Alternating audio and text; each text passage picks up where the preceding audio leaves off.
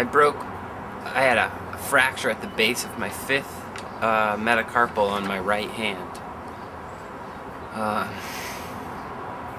but it's called a boxer's fracture and that's pretty cool.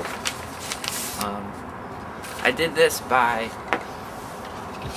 boxing this piece of half inch plywood. Um, you can see it didn't break. Um,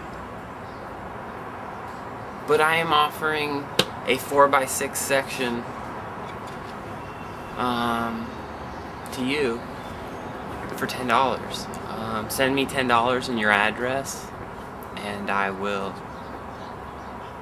mail you a 4x6 uh, piece of this plywood um, as a postcard. So, yeah. Um, you can write me at uh, Ryan Wilson Paulsen, P.O. Box 5221, Portland, Oregon 97208. Have a good day. Thanks.